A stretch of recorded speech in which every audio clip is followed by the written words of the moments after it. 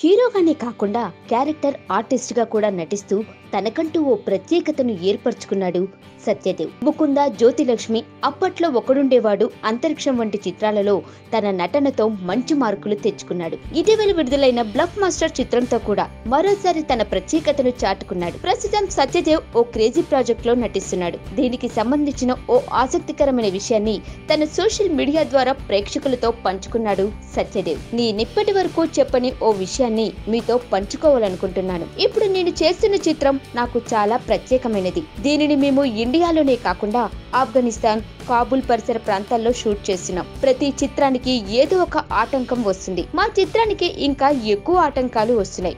అయినా సరే మేము ఖచ్చితంగా పూర్తి చేసే తీర్థం అంటూ చెప్పుకొచ్చారు. ఇక ఈ చిత్రాన్ని జెనిఫర్ అల్ఫోనోస్ డైరెక్ట్ చేస్తుండగా సాజీ సినిమాటోగ్రఫీ అందిస్తున్నారు. రజా కోమర్ తదితర నటీనటులు ఈ చిత్రంలో నటిస్తున్నారు. ఇక తాను గడ్డంతో ఉన్న ఓ కొత్త లుక్ని మరియు షూటింగ్ పిక్స్ని పోస్ట్ చేశాడు సత్యదేవ్.